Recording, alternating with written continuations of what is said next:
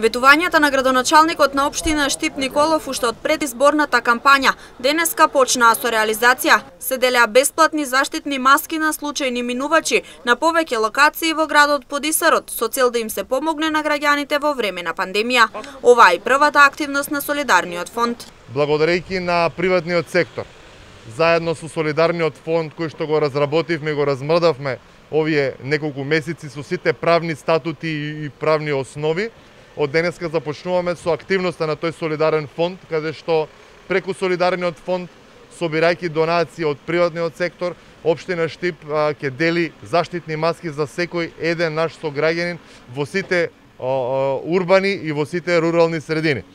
Солидарниот фонд е наменет за обезбедување средства за помош на деца до 18 години, кои се лечат од тешка болест надвор од државата имаат вистинска потреба од овие средства, но денеска преку истиот се делеа и заштитни бесплатни маски. Идејата на делењето на заштитни маски на граѓаните на општина Штип, начинот на кој што го правиме тоа всушност е не граѓаните да доаѓаат до маските, туку маските да дојдат до граѓаните и затоа овој план кој што го споменаа предходно ќе биде објавен. Секој граѓанин на фреквентни локации во градот, надвор од градот, во урбаните и во руралните заедници ќе добие маска, сега за сега 40.000 ќе искористам приликата да биде овај повик за останатите наши локални бизнисмени да донираат маски додека трае ова, за да може буквално секој граѓанин да добие по, повеќе од една маска.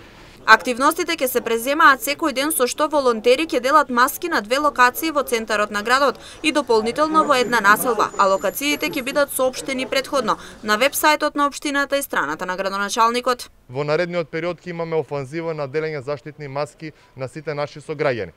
Единствениот начин да се спречи оваа пандемија, која што во овој момент за жал бројките растат и во општина Штип, е да носиме заштитни маски, да ја почитуваме социјалната дистанца, дезинфекција на раци и да немаме групирање.